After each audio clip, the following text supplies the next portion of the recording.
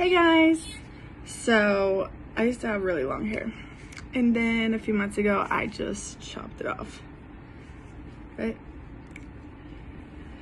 27,